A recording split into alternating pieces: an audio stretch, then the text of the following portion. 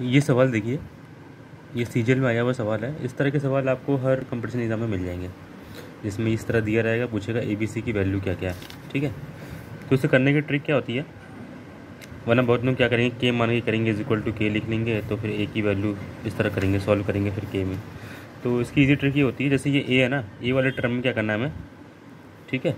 इसको वी की तरह याद रखते हैं हम लोग। जो जिसका हम वैल्यू निकालेंगे ना, उसका नीचे वाला रखेंगे और बाकी जो बचेगा उसको ऊपर वाला मतलब ये तीनों को गुड़ा कर देंगे आपस में, ठीक है? जो बचा हुआ बाकी सबका गुड़ा कर देंगे टर्म का, और नीचे वाले, जो खुद का है उसका नीचे वाला, जैसे ए है। ए का नीचे क्या है? दो, ठीक है? अब ए बचा क्या है? बी और सी इनके ऊपर क्या है? छः और तीन है, ठीक है?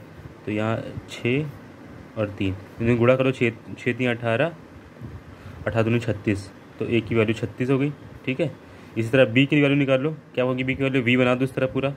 तो वी में सात नीचे आ गया, इसका सात हो गया, इसका पाँच हो गया, इसका तीन हो गया। तो पाँच तीन पंद्रह, सत्तर, एक सौ पाँच, एक सौ पाँच, ये हो गया। सी की वैल्यू वी बना दो, ठीक है? नीचे इसका ग्यारह रहेगा, जिसकी वैल्यू निकालनी उसका नीचे वाला रहेगा, बाकी सबका ऊपर वाला। तो छः पंचे तीस और तीस इंटू ग्यारह, एक सौ तीन, सौ तीस। ये इसका आंसर है, ठीक है?